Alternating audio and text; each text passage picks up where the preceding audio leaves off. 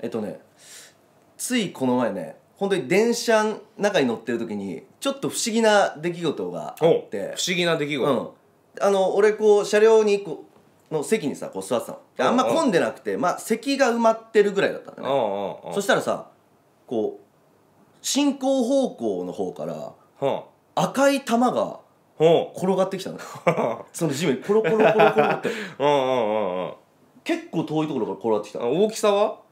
や大きさ多分まあこんぐらい。結構。結構な大きさのものが転がって、コロコロって転がってきて。けん玉のね玉ぐらい。あそんぐらいだ。多分そんぐらいいだ。でそれが転がってきてでも誰かが落としたのかとかよくわかんないじゃん。うんうんだからみんなさこう球をこう見てさスーって多分ずっと他の車両もそうだったんだろうね。みんなこうふーってこうやってたの。そ したらさ俺の向かいぐらいにいたカップルの人がうんうん。パッて取って落とし物かなみたいなあこれ誰誰誰だろうみたいな話してたんだけどうん。俺らじゃないわけよ。うんうんうん。それで家族連れの人とか俺の横はおばさんとか結構いろんな人いたんだけど「ん。え？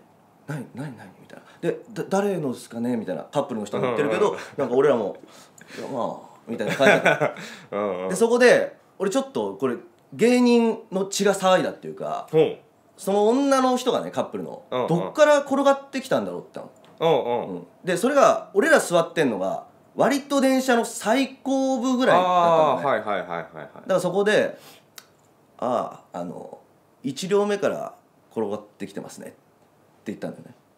うん。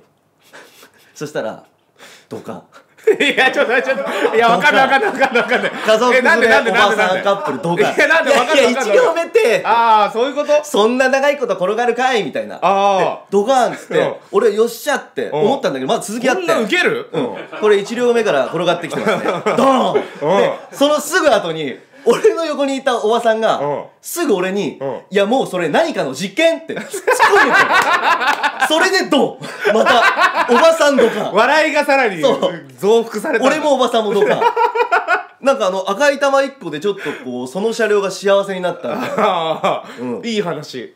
いい話ですね。こういうおばさんとのコンビプレイみたいなのをねなるべくコンビでできるように頑張って。いやおばさん見習えってことね。そうそうそう。えちなみにそれは解決してないわけ？あその玉は？あしてない。